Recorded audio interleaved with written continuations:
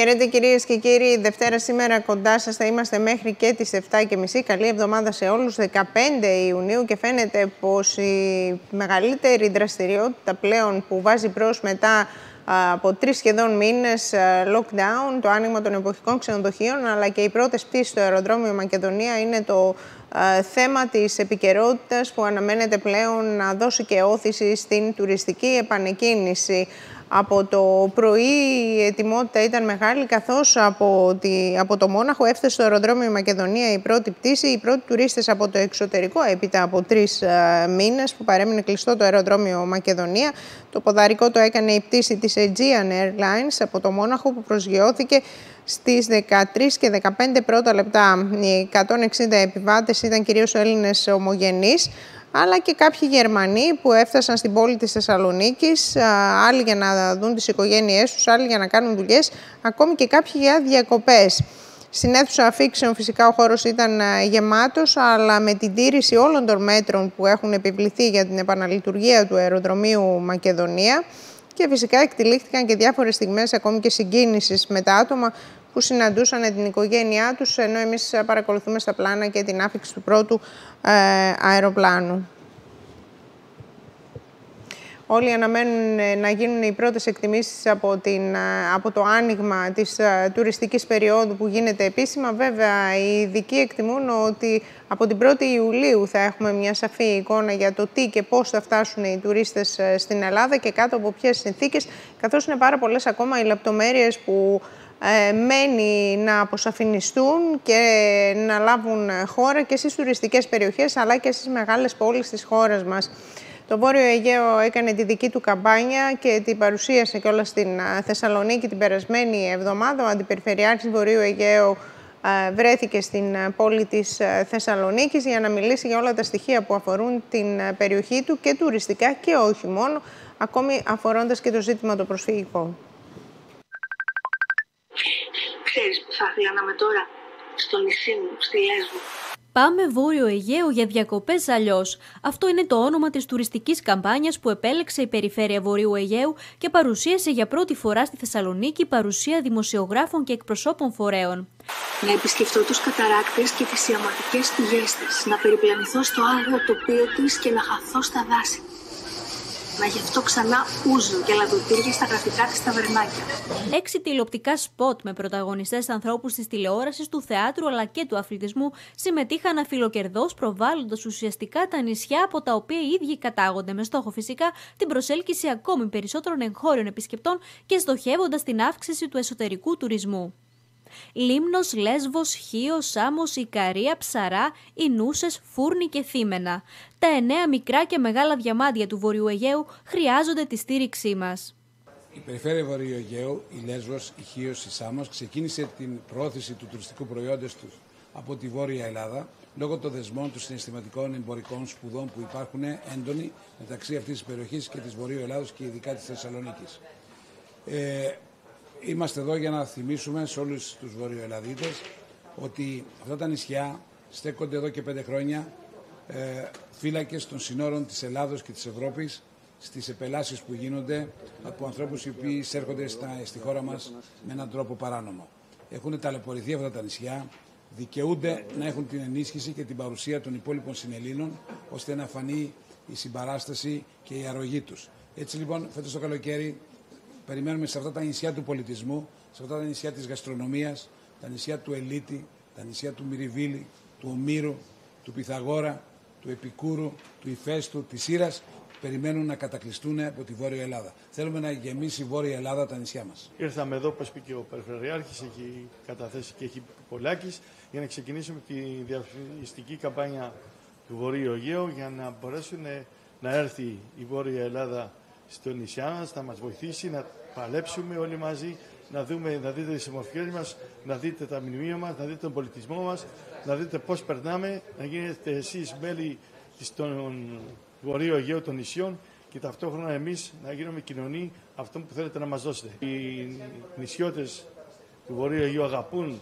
τη Βόρεια Ελλάδα, είναι γνωστό αυτό και αισθανόμαστε και εμείς το ίδιο.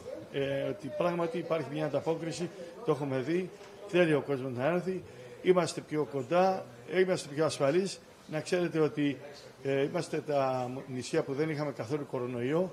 Έχουμε μεγάλες ακτές ώστε να τηρούνται τα πρωτόκολλα και προσφορές για αυτούς που θέλουν να έρθουν είτε οικογενειακώς, ακόμα και μειωμένα ειστήρια, ακόμα και μειωμένες ε, ε, τρόπος ε, διαβίωσης και, και ε, στα εστιατορίων και στα ξενοδοχεία. Νωρίτερα, στο πλαίσιο της επίσκεψή του στην πόλη, ο Περιφερειάρχης Βορείου Αιγαίου επισκέφτηκε και τον πρόεδρο του Επαγγελματικού Επιμελητηρίου Θεσσαλονίκης Μιχάλη Ζορπίδη και συζήτησε μαζί του το ζήτημα της έλλειψης των ακτοπλοϊκών συνδέσεων της Θεσσαλονίκης με τα νησιά του Βορείου Αιγαίου. Όντως τα νησιά είναι πολύ καλά και η Σάμ και η Χίο και η Μυτιλίνο και η Λέσβος αλλά και η Λίμνο. Έχω να πω ότι υπάρχει υποδομή επειδή ασχολούμαι με αυτό το κομμάτι, υπάρχει υποδομή ξενοδοχειακή, αρκεί να υπάρχει ένα πλοίο, τώρα λέει ο Περιφερειάρχης ότι έχει ένα πολύ γρήγορο πλοίο από την Καβάλα. Έστω από την Καβάλα θα κοιτάξουμε, θα ήταν καλύτερα να ήταν από τη Θεσσαλονίκη. Από εκεί και πέρα όμως να είναι προσιτές τιμές για να έχουμε τη δυνατότητα να φτάσουμε εκεί, γιατί ο κόσμος δεν έχει πολλά Υπάρχει ένα εγγενές πρόβλημα στη θέση Θεσσαλονίκης ότι τα μίλια που διανύουν τα σκάφη είναι πολύ μεγάλα. Μόνο αν επιδιτωθεί η γραμμή από το ίδιο το κράτος. Θα μιλήσω με τον Υπουργό Ναυτιλίας, θα δω αν μπορεί να γίνει. Το βλέπω λίγο δύσκολο τουλάχιστον τώρα. Τα έξι spots θα παίξουν στο διαδίκτυο και τις επόμενες ημέρες σε σταθμούς περιφερειακής και πανελλαδικής εμβέλειας. Κόστησαν 12.000 ευρώ και όλη η καμπάνια θα κοστίσει περίπου 25 με 30.000 ευρώ. Η βρίσκεται στην αρχή και στο τέλος κάθε διαδρομής μου. Τι να πρωτοπώ για τη Μυροβόλο. Η μυρωδιά της μαστίχας στον αέρα. Οι ανθισμένες μαντερινιές στον κάμπο. Τώρα πάμε να δούμε τι γίνεται με το άνοιγμα των ξενοδοχείων πανελλαδικά και ειδικότερα στις περιοχές που είναι εδώ στην Κεντρική Μακεδονία. Ο πρόεδρος τη Πανελλήνιας Ομοσπονδίας Ξενοδόχων, ο κ. Γρηγόρης Τάσου, είναι στην τηλεφωνική μας γραμμή. Κύριε Τάσου, καλησπέρα σας. Καλησπέρα, ευχαριστώ για την πρόσκληση. Κύριε Τάσιο, από την μία το αεροδρόμιο Μακεδονία υποδέχεται ουσιαστικά τους πρώτους επισκέπτες, είτε είναι Έλληνες είτε είναι ξένοι που έρχονται για τις διακοπές. Υπήρξαν και τέτοιες περιπτώσεις. Απ' την άλλη στον προμαχώνα ουρές χιλιόμετρων για τους πρώτους οδικούς τουρίστες και δειλά-δειλά τα ξενοδοχεία. Τι εικόνα έχουμε για σήμερα με τα εποχικά; Καταρχήν να πω ότι έχουμε μια κακή εξέλιξη της τελευταίας στιγμής, στην ουσία από χθες το βράδυ αργά, σε σχέση με την είσοδο των Σέρβων ναι. Ε, υπηκόων από τα σύνορα του Προμαχώνα, από το συναδειακό mm-hmm. του Προμαχώνα. Δυστυχώς δεν μπορούν να έρθουν και πάμε ουσιαστικά για 1 Ιουλίου. Αυτό έχει δημιουργήσει μια τεράστια ταλαιπωρία από το πρωί. Ε, γίνανε αρκετές τηλεφωνικές επικοινωνίες για να μπορέσουμε να βρούμε μια άκρη, θα το πω απλά. Όμως είναι ξεκάθαρο και τελειωμένο ότι οι Σέρβοι που είναι εκτός έγκεν ε, δεν μπορούν να ταξιδέψουν προς την Ελλάδα ε, από τους ε, συνοριακούς σταθμούς του Προμαχώνα γιατί έτσι κι αλλιώς των Σκοπίων στους Ευζώνους είναι κλειστό. Ναι. Έτσι λοιπόν έχουμε μία αναστάτωση που κυρίως απευθυνόταν στα ενοικιαζόμενα δωμάτια και σε μικρής κατηγορίας ξενοδοχεία. Ε, υπήρχαν κάποιες κρατήσεις, υπήρχαν τα λεγόμενα λεωφορεία charter και έτσι έχουμε την πρώτη αν θέλετε κακή εξέλιξη τη σεζόν COVID όπως από εδώ και πέρα θα την αποκαλώ ε, γιατί ήταν ουσιαστικά ένα πισωγύρισμα. Από εκεί πέρα ναι μεγάλες ουρές στον Προμαχώνα, αναμενόμενο βέβαια, ε, με τόσο κόσμο που θα θέλει να έρθει είτε στα σπίτια, γιατί μην ξεχνάτε ότι από τη Βουλγαρία έχουμε και πολλούς που έχουν σπίτια πια ε, στην Χαλκιδική. Ε, και φυσικά από εκεί και πέρα περιμένουμε να δούμε πώς θα μπορέσει αυτό να εξομαλυνθεί. Ε, αν και δεν είμαι πολύ αισιόδοξη για το επόμενο διάστημα, ιδιαίτερα όσον αφορά την έναρξη λειτουργίας των εποχικών ξενοδοχείων, όπου έχουμε πάρα πολλά άλλα ζητήματα για να μπορέσουμε να μπούμε όλοι σε μια κανονική διαδικασία. Δεν άνοιξαν σήμερα δηλαδή τα ξενοδοχεία; Είστε τι ποσοστό άνοιξαν, Όχι, κύριε δεν άνοιξαν τα ξενοδοχεία. Ε, πανελλαδικά περίπου χίλια ξενοδοχεία έχουν ανοίξει στο σύνολό τους, τα 10.000. Ναι. Ε, και από εκεί και πέρα περιμένουμε αρχές Ιουλίου ε, μια, ένα αρκετό ποσοστό να κάνει την επανέναρξη. Δεν υπάρχουν οι αντίστοιχοι πελάτες που θα δώσουν τη δυνατότητα καλών πληρωτήτων. Οπότε για μας ουσιαστικά ήταν αναμενόμενο. Από ό,τι φαίνεται δεν ήταν αναμενόμενο απόλυτα για ε, την έναρξη της σεζόν ε, και ενώ είμαστε συνέχεια σε διάλογο με το Υπουργείο Τουρισμού, με τα συναρμόδια Υπουργεία, φαίνεται ότι για κάποια πράγματα δεν ακουστήκαμε. Θυμάστε ότι εδώ και πολύ καιρό έλεγα ότι από 1η Ιουλίου έπρεπε να ανοίξουμε ε, για να μπορέσουμε να είμαστε πραγματικά έτοιμοι τόσο όσον αφορά τα πρωτόκολλα. Υπάρχουν ζητήματα με τους γιατρούς αναφοράς, τα ξενοδοχεία, όσο και με τις χρηματοδοτήσεις που ακόμη δεν έχουν έρθει. Επίσης έχουμε μια κοινή υπουργική απόφαση για τα εργασιακά ή το πρόγραμμα συνεργασία που μέχρι τώρα από τα μέλη μας έχουμε πάρει πάνω από 20 ερωτήματα αντιλαμβάνεστε ότι αν έχουμε τόσα ερωτήματα σε Το οποίο μπαίνει, απόφαση... παίρνει μπρος από σήμερα ουσιαστικά το συνεργασία. Ναι, ακριβώς. Αντιλαμβάνεστε ότι άμα έχεις από την αρχή τέτοιου είδους προβλήματα, τότε ε, πώς μπορείς να είσαι σίγουρος για την ε, συνέχεια; Η Χαλκιδική τι εικόνα δίνει σήμερα, κύριε Τάσιο, τι, ποια είναι τα καταλήμματα που στην ουσία δέχονται επισκέπτες; Πολύ λίγους. Πολύ λίγους. Ουσιαστικά η Χαλκιδική μπαίνει και αυτή στην πορεία της από αρχές Ιουλίου. Αυτό είναι το δεδομένο που έχουμε αυτή τη στιγμή. Και κάποιοι που θέλουν να ανοίξουν πιο νωρίς το ανέβαλαν για πιο πίσω αφού βλέπετε όπως σας ανέφερα ότι ούτε σερβι θα έρθουν. Μόνο κάποιοι Βούλγαροι και λίγοι Ρουμάνοι, άρα ουσιαστικά σε ε, όποια κανονικότητα θα την πάμε από αρχές Ιουλίου. Μάλιστα. Το αεροδρόμιο όμως ορθώς άνοιξε. Το αεροδρόμιο έχει και ένα σημειολογικό χαρακτήρα. Δεν είναι μόνο για να έρθουν οι πτήσεις, που σίγουρα έχουν μια μικρή πληρότητα και ανάλογα σε ποια ξενοδοχεία θα πάνε οι πελάτες, γιατί μιλάμε για λίγες πτήσεις. Η συχνότητα των πτήσεων είναι μικρή. Mm-hmm. Όμως σιγά σιγά πρέπει να ξεκινήσει και αυτό και καλώς έγινε. Όμως όπως ξέρετε έχουμε δειγματοληπτικούς ελέγχους, έτσι, ε, ενώ για, με τεστ COVID και αντίστοιχα από αυτούς προσπαθεί να γίνει μια, ένας διαχωρισμός και ελπίζουμε να προχωρήσουν όλα αυτά καλά. Κύριε Τάσιο, εχθές στη σύσκεψη με τον Υφυπουργό, τον κύριο Χαρδαλιά, πέρα από τα θέματα της δασοπροστασίας έγινε αναφορά σε αυτά τα ζητήματα, έστω σε κάποια μεταξύ σας επαφή, γνωρίζει τι ακριβώς συμβαίνει και ποιες είναι οι προσδοκίες σας ο κύριος Χαρδαλιάς. Μπορεί να μην είναι ο καθήλυνα αρμόδιος, λογικά όμως έχει λόγο πάνω σε όλα αυτά τα θέματα. Ναι, στην χθεσινή σύσκεψη που έγινε στον Πολύγυρο, Πράγματι υπήρξε ε, μια κουβέντα και για τα ζητήματα της διαχείρισης κρουσμάτων COVID. Ε, θέσαμε ουσιαστικά υπόψη, αν και το γνωρίζει ο κ. Καραδαλιάς, και την επιστολή που κάναμε σαν φορείς και συμφώνησε μαζί μας ότι το κυρίαρχο είναι στη διαχείριση μιας τέτοιας ενδεχόμενης κρίσης ε, ύποπτων κρουσμάτων να έχουμε στην πηγή τον έλεγχο των μοριακών τεστ που αυτό μπορεί να συμβεί κυρίως αντιλαμβάνεστε με δύο τρόπους. Πρώτον, τα συνεργεία του ΕΟΔΗ, τα κινητά να υπάρχουν στο νομό και να μπορούν να κατευθύνονται για να γίνονται αυτού του είδους δειγματοληψίες. Και κατά δεύτερον, να μπορέσει το νοσοκομείο να εξοπλιστεί με ε, αντίστοιχο PCR ε, μικροβιολογικό εργαστήριο για να μπορέσουμε να έχουμε εδώ τα αποτελέσματα. Νομίζω ότι, νομίζω ότι ε, ε, γίνεται μια μεγάλη προσπάθεια ως προς το δεύτερο και στο πρώτο συμφώνησε απόλυτα το ίδιο και συγχρόνως να πούμε ότι έγινε και μια μεγάλη κουβέντα για τη λεγόμενη αντιπυρική προστασία του νομού που ακόμη δεν ξεκίνησε η σεζόν και είχαμε από αμέλεια στην περίπτωση της Ιθωνίας ε, και από κεραυνό στην περίπτωση του Αγίου Όρους ήδη τις πρώτες πυρκαγιές. Mm-hmm. Επιστρέφω σε αυτό που τονίσατε, να ελέγχετε στην πηγή και να αντιμετωπίζετε τυχόν περιστατικό σημαίνει ότι εσείς και στις τουριστικές μονάδες όλου του νομού και κάθε τουριστικού νομού θα πρέπει να γίνουν κάποιες ενέργειες. Εμείς όσον αφορά το κομμάτι των πρωτοκόλων έχουμε δύο στοιχεία που πρέπει να πω. Το πρώτο είναι ότι σχεδόν τα περισσότερα ξενοδοχεία που έχουν αρκετό προσωπικό θα κάνουν τεστ αντισωμάτων στο προσωπικό τους για να μπορούν να είναι ελεγμένοι. Κάποια από αυτά ενδεχομένως και μοριακό. Την πορεία όσον αφορά τους ε, πελάτες, ε, σίγουρα το πρωτόκολλο έχει τα βασικά όταν γίνεται η άφηξη του πελάτη. Για παράδειγμα το check-in θα γίνεται στις 3 η ώρα και όχι στις 12. Mm-hmm. Όπως και το check-out θα γίνεται στις 11 και όχι στις 12. Είναι ένα βασικό στοιχείο του πρωτοκόλλου. Και υπάρχουν ειδικές φόρμες συμπλήρωσης αναφοράς είτε μέσω iPad, ε, συγγνώμη, μέσω κάποιου tablet για να μπορέσει να ε, έχουμε τα στοιχεία τα οποία συγκεντρώνονται μέσα στις διαδικασίες όλα αυτά και βέβαια αν τυχόν και χρειαστεί να έχουμε μια, ε, ένα ύποπτο κρούσμα να μπορέσει να απομονωθεί και στη συνέχεια να απευθυνόμαστε στο γιατρό και αντίστοιχα στα ξενοδοχεία αναφοράς τα οποία περιμένουμε κάποια στιγμή να βγουν από το Υπουργείο. Μάλιστα.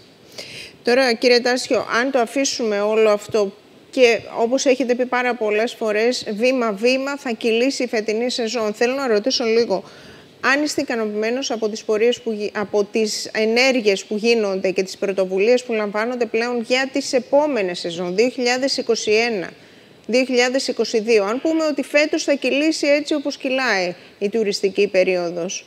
Είδαμε τους Δήμους σε κάποιες περιπτώσεις να μπαίνουν μπροστά, τις περιφέρειες, να γίνονται κάποιες καμπάνιες και κάποιες συνεργασίες. Πόσο θα βασιστείτε σε όλη αυτή τη δράση; Είναι μια πολύ δύσκολη εξίσωση. Ήδη βρισκόμαστε και συνεργασία με τη Marketing Greece, γενικότερα με τον ΕΟΤ, σε μια νέα προσπάθεια στον αναπεριοχές πια και για μας για την Κεντρική Μακεδονία να δώσουμε το στήμα, αν θέλετε, ότι είμαστε ασφαλείς. Χρειάζεται ακόμη αρκετή δουλειά και θα έλεγα ότι χρειάζεται και αρκετή δουλειά όσον αφορά την πλευρά των ξενοδοχείων. Διότι ναι, μεν κάνουμε το διάλογο με την κυβέρνηση και τα συναρμόδια υπουργεία, αλλά πλέον πια, κυρίες Μυρλή, δεν γίνεται. Εμείς απαιτούμε να μας ακούν πια. Όπως ακούσαν τους ειδικούς και ακούν για τα επιδημιολογικά δεδομένα, απαιτούμε και το τονίζω με κεφαλαία γράμματα να ακούν και εμάς πια σε αρκετές από τις σκέψεις και δικές μας προτάσεις, ώστε να προλαμβάνουμε ζητήματα. Αυτό βλέπουμε ότι σιγά σιγά δεν γίνεται ή γίνεται κατόπιν πολλών πολλών ερωτήσεων. Αντιλαμβάνεστε ότι αυτό δεν μπορεί να συνεχιστεί. Έχουμε ένα πόλεμο, έναν αόρατο εχθρό, μια αβεβαιότητα και ο κόσμος αντίστοιχα έχει τις δικές του αντοχές. Χρειάζεται μεγάλη προσπάθεια από τον κρατικό μηχανισμό να ανταπεξέλθει όπως πρέπει. Και νομίζω εκεί είναι το ζητούμενο για το από εδώ και στο εξής και όχι μόνο να έχουμε ευχολόγια. Χρειάζεται πολλή δουλειά στο να ακούν αυτά τα οποία κουβεντιάζουμε και λέμε. Φαντάζομαι απευθύνεστε κατά κύριο λόγο στο Υπουργείο Τουρισμού τώρα, κύριε Τάσιο. Στην ηγεσία του Υπουργείου Τουρισμού. Εμείς ως, εμείς ως Πανελλήνια Ομοσπονδία Ξενοδόχων εκπροσωπούμε πάνω από 5.000 επιχειρήσεις με 52 ενώσεις. Όταν λοιπόν είμαστε σταθερά στο διάλογο αυτό, χρειάζεται και να μας ακούνε. Και δεν είναι μόνο το Υπουργείο Τουρισμού, είναι και τα συναρμόδια, όπως για παράδειγμα το Υπουργείο Εργασίας. Αναφέρω χαρακτηριστικά. Τελευταία στιγμή οι νέες υπουργικές αποφάσεις για το θέμα πρόγραμμα συνεργασία και αντίστοιχα επαναπρόσληψη εργαζομένων και έχουμε 20 διαφορετικά ερωτήματα το πώς αυτό θα γίνει. Μα μπορούμε να λειτουργήσουμε έτσι επιτέλους. Μάλιστα. Σας ευχαριστώ κύριε Τάσιο για την επικοινωνία. Καλή συνέχεια. Να είστε καλά και εγώ σας ευχαριστώ. Όπως ακούσαμε βέβαια η δυσάρεστη εξέλιξη που αφορά την ε, Σερβία έχει φέρει και τον συνοστισμό από εκεί και πέρα στην, ε, στα σύνορα στον προμαχώνα. Θα δούμε στη συνέχεια αναλυτικά με το θέμα. Και φυσικά δεν είναι μόνο πάρα πολλοί ιδιοκτήτες θερινών κατοικιών που έρχονται από τη Βουλγαρία, είναι πάρα πολλοί και από τη Ρωσία που δεν θα έρθουν τουλάχιστον άμεσα φέτος το καλοκαίρι σε περιοχές όπως είναι η Χαλκιδική και η Πιερία αλλά και από τη Σερβία που παραμένει κλειστή και από τα Σκόπια αντίστοιχα. Τώρα, απάντησε ο Νίκος Ταχιάος στις βολές του πρώην Πρωθυπουργού Αλέξη Τσίπρα, ο οποίος κατά την επίσκεψή του τόνισε ότι η μεγάλη απάτη της κυβέρνησης είναι το μετρό Θεσσαλονίκης. Σαφώς και σύμφωνα με την Αττικό Μετρό δεν υπήρχε περίπτωση και τον κύριο Ταχιάο να είναι έτοιμο το μετρό το 2020 ή το 2021 σε καμία περίπτωση ανεξάρτητα από τι θα γινόταν η υπόθεση με τα αρχαία στο σταθμό Βενιζέλου. Το μετρό Θεσσαλονίκη είναι η μεγαλύτερη απάτη του κ. Μητσοτάκη στους Θεσσαλονίκης, δήλωσε ο πρόεδρος του ΣΥΡΙΖΑ Αλέξης Τσίπρας, ο οποίος επισκέφθηκε εκτός προγράμματος στο σταθμό Βενιζέλου, συνοδευόμενος από βουλευτές και τον πρώην πρόεδρο της Αττικό Μετρό Γιάννη Μιλόπουλο. Το μετρό της Θεσσαλονίκης είναι η μεγαλύτερη απάτη του κύριου Μητσοτάκη στους Θεσσαλονικής.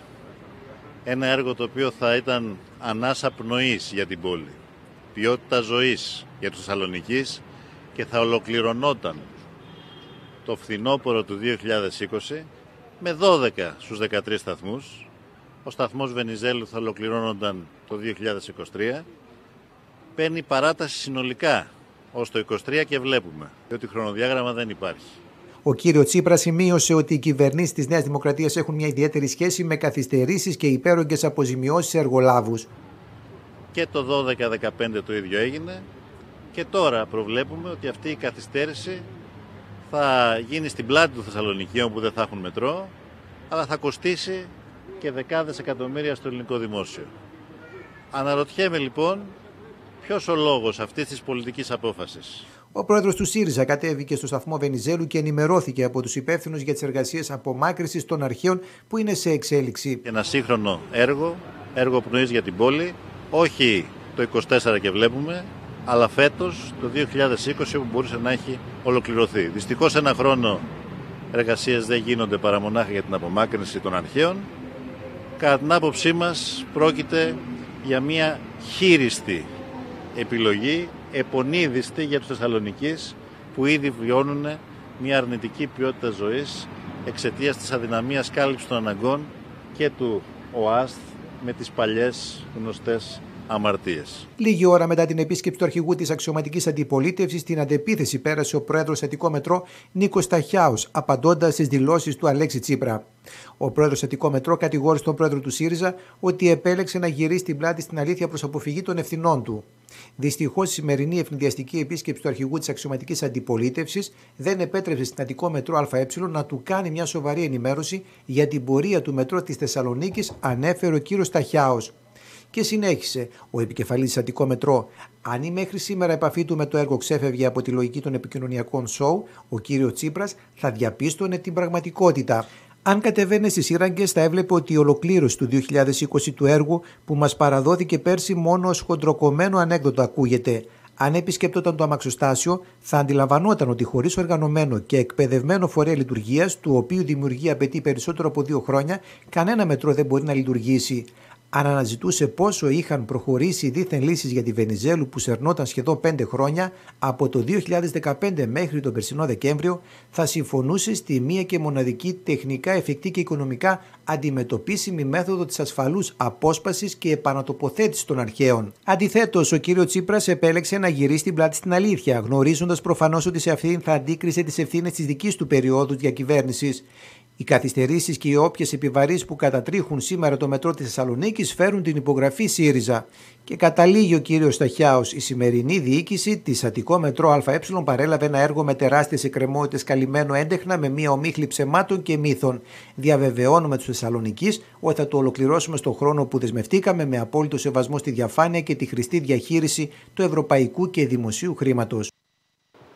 Τώρα να περάσουμε στο πρώτο μας διαφημιστικό διάλειμμα και θα συνεχίσουμε την εκπομπή με τις πανελλαδικές εξετάσεις και θέματα επίσης που έχουν να κάνουν με το Δήμο Θεσσαλονίκης όσον αφορά τον σχεδιασμό πολλών αλλαγών. Θα τα δούμε όλα αυτά στην ε, συνέχεια της εκπομπής. Διαφημίσεις και επιστρέφουμε.